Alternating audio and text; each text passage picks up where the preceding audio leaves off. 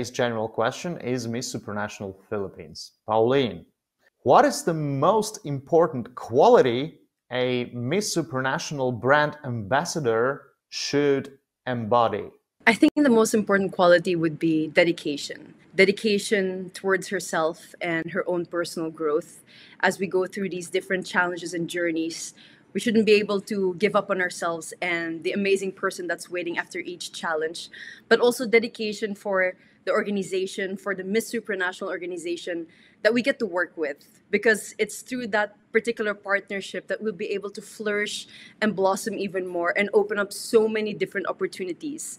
As long as we have that dedication within us, we'd be able to catapult ourselves to so many different opportunities and experiences that will forever change our lives.